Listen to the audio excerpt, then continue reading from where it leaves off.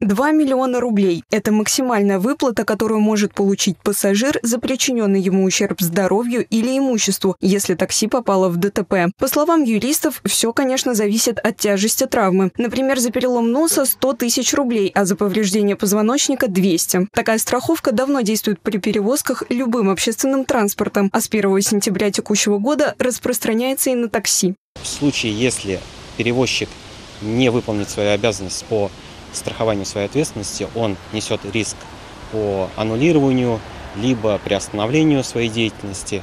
И, что немаловажно, он э, может получить требования от пассажира на тех условиях, на которых должно было быть выплачено страховое возмещение, если бы оно было застраховано, если бы ответственность была застрахована.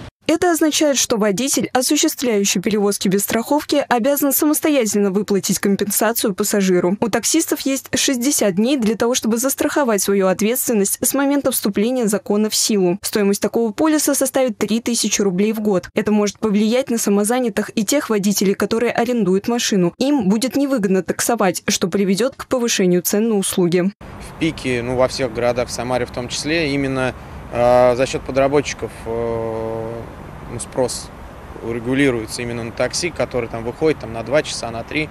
Для них ну, это еще тяжелее ну, станет однозначно. Чем меньше водителей, тем больше цена. Опять же, цена, в принципе, даже арендных машин, она, скорее всего, сейчас вырастет. Если новая страховка защищает пассажиров, то водителей нет. В случае аварии таксисты могут рассчитывать только на компенсацию по обязательному страхованию гражданской ответственности. Максимальная сумма – 500 тысяч рублей. За отсутствие полиса у водителей для таксопарков предусмотрен штраф в размере до 1 миллиона рублей. Елизавета Прокопенкова, Григорий Плешаков, Константин Головин. События.